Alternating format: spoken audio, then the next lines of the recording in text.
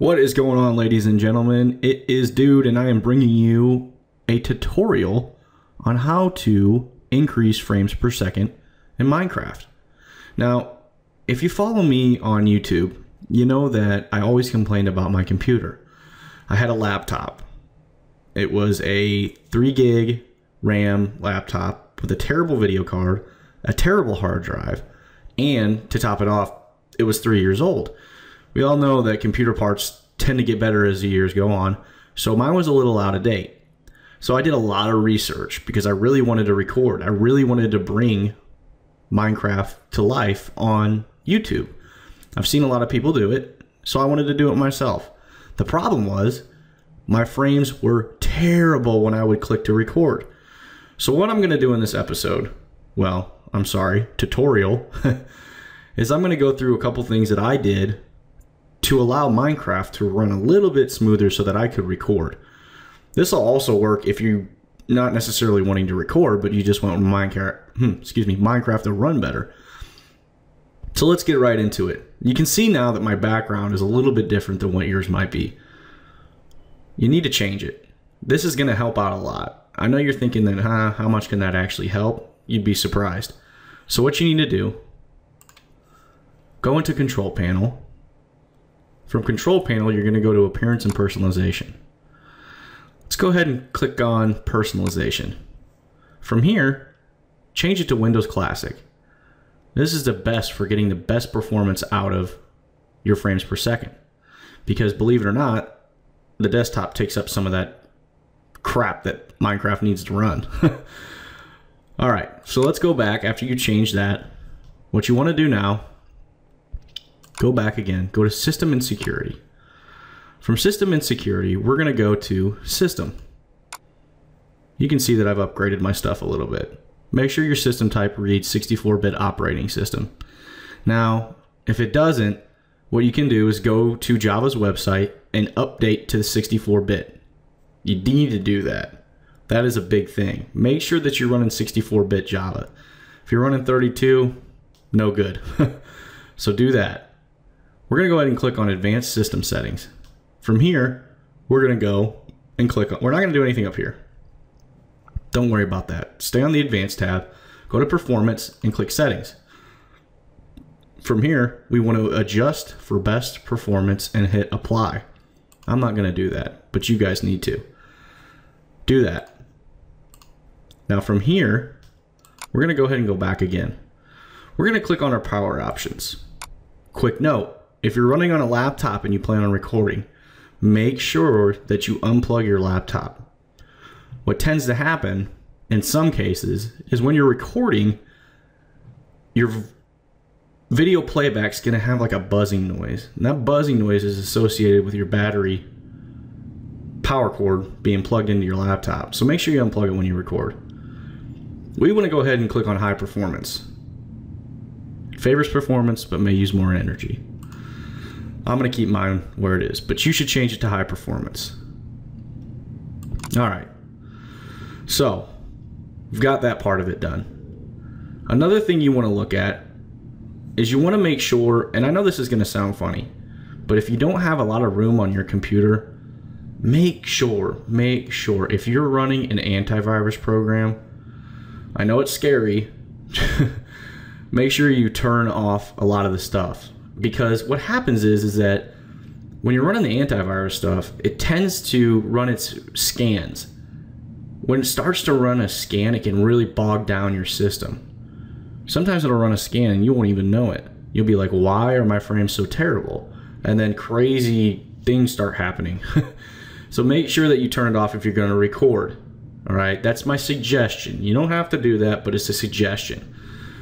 Okay. So I use Fraps to record. Uh, if you guys need information on what settings to run Fraps at for the best um, frames per second when you hit that uh, F9 button, just send me a message or comment and I'll, I'll try to get back to you and help you out as much as I can. All right. So that pretty much does it. Actually, let me go back into one more thing. Depending on what you're using to run Minecraft. Now, if you're using, sorry about that if you're using um, Magic Launcher, that's what I wanted to say. If you're using Magic Launcher, Magic Launcher has this cool thing that you can do. Click Setup, go to Advanced.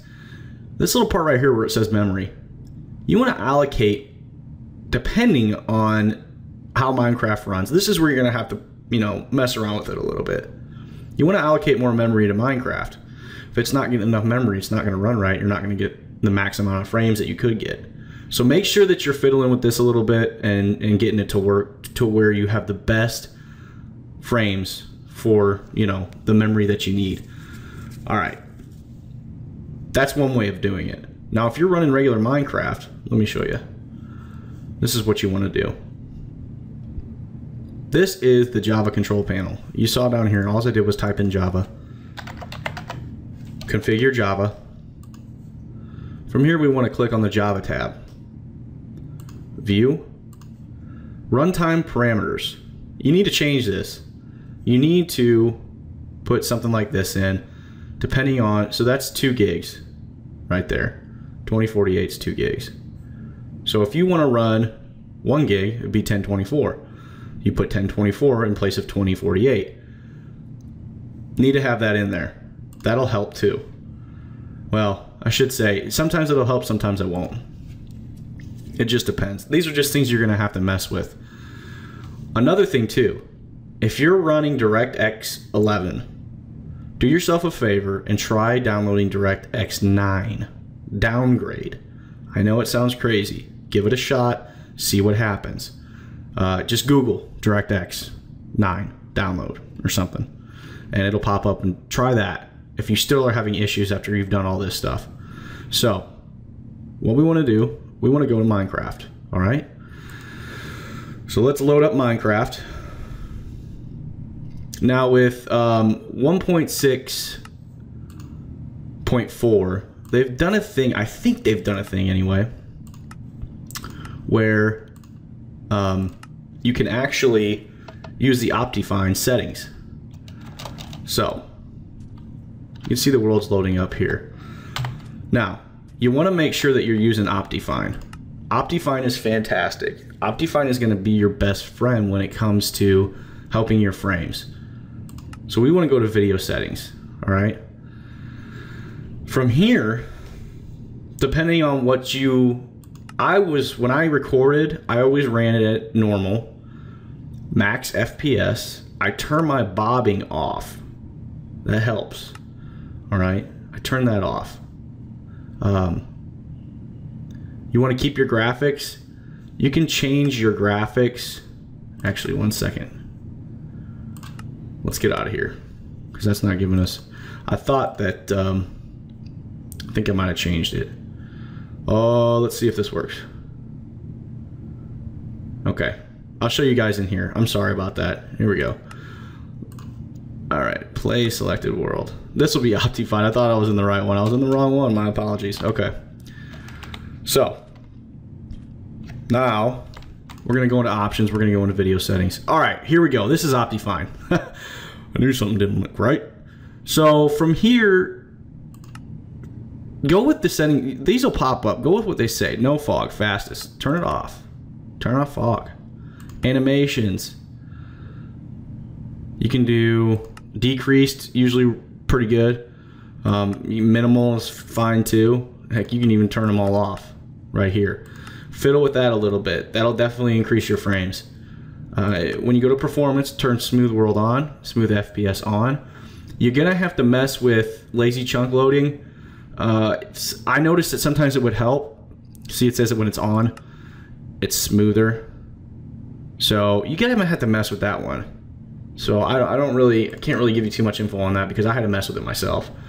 Uh, you want to change your render distance to, like I was saying, normal.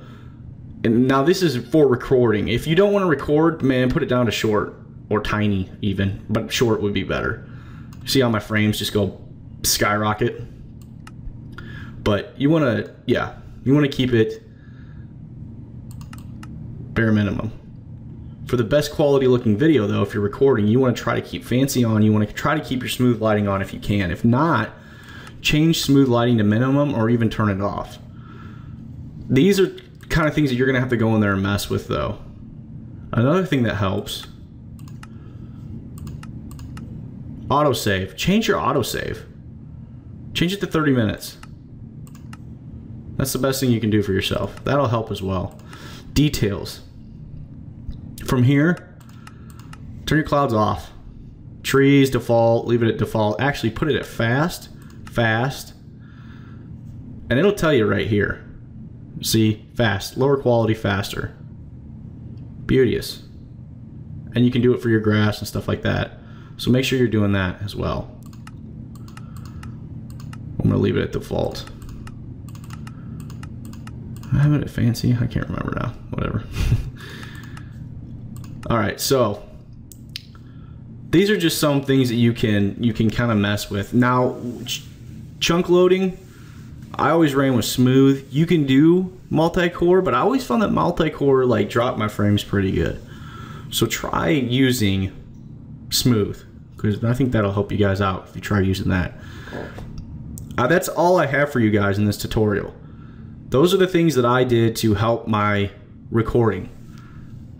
The only other thing that I can think of is I could help you by going into, we can go into Fraps real quick and I'll show you what I use for Fraps. So for Fraps, I think I have an older version of Fraps though. Benchmark, put FPS. This is these are my settings. This is the same settings I had when I did it. I run at 60. You can you can mess with this a little bit. Lock the frame rate while recording. Um, I run F4 with mine. Make sure that uh, this you want to run it half size too. Do not run Minecraft in full full screen or whatever. Don't do it, especially if you have a hard time with frames. Just don't. It's not worth it. Another thing. Now things are starting to flood back. Make sure that you close all your programs out. Okay, make sure you don't have anything else running. Make sure you don't have the Internet Explorer stuff running. Make sure you don't have Skype running. Skype's a killer for frames. One more thing. go into Task Manager, click on Minecraft, go to Go to Process, okay? From here, it's gonna go to java.exe, set the priority to high. When you do that, that is the program that your computer is going to push all of its processing to. So when you do that, your frames are going to just skyrocket. So that is the other big thing too. Um, that's all I have for you guys though. That's it. Those are the things that I did to help me record Minecraft. And you can watch some of my older videos and you can watch some of my newer videos. Nothing beats just getting a new computer. Trust me. But if you can't afford one or you don't have the resources to to upgrade your computer those are some things that you can do to help increase your frames per second and trust me it helps it really does so try those things if you have any questions please do not hesitate to ask i will be sure to get back to you as soon as i see it and hopefully i can i can help you out. Um, i'll put the links for Opti, optifine uh, magic launcher down in the description. Um, and that's pretty much that's pretty much it. So i hope you enjoyed it. Please make sure you hit the like button. Uh, be sure to subscribe and uh, thanks for watching